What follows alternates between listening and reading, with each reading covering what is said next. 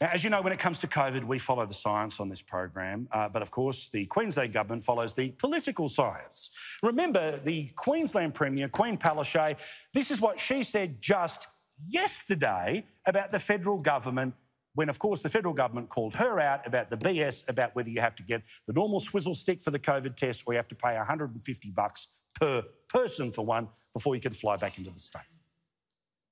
I don't want Queenslanders to have COVID for Christmas. But do you I honestly don't. believe the federal government wants to give Queenslanders COVID for Christmas? Well, why, you have to ask them why they wanted to scrap the tests.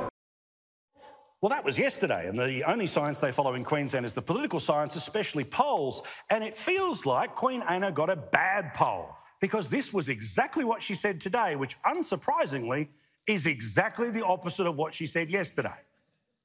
I look forward to working cooperatively with the federal government. Uh, we've got a national cabinet meeting coming up soon, and I think everyone needs to work together. Do you hear that, Premier? They're laughing at you in Bathurst, all right? They're laughing at you in Bathurst right now. Now, when asked about all of that today, she tried to play the lefty Jedi mind trick. This is not the truth you're looking for. But guess what? We saw the tape. Yesterday, she said the federal government wants to bring COVID to Christmas, COVID to Queensland for Christmas. Today, I want to work for the government.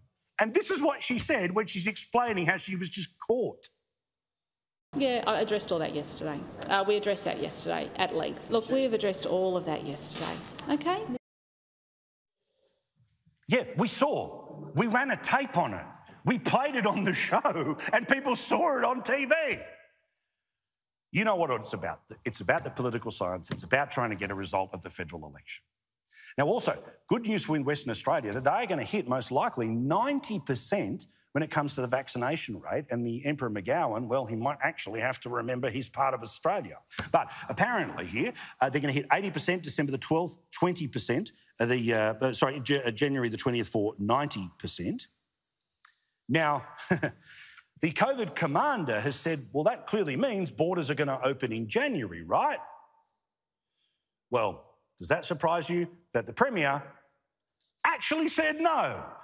This is what the Emperor had to say in response to his state hitting in January 90%. There'll be more vaccinated than any country in the world. I think he clarified. Uh, I understand he had some questions and he clarified. Uh, it'll be late January or early February, and uh, that's the government's position. What? Going to hit 90%, pal. I know you don't want to, and I know that there's some people that are sort of, you know, holding their mask under the doona, sucking on their thumb, afraid that the Rona's going to be coming. But sorry, you're part of Australia, whether you like it or not, pal. And I know you're trying to delay it as long as possible, just like the Queen, just like the rest.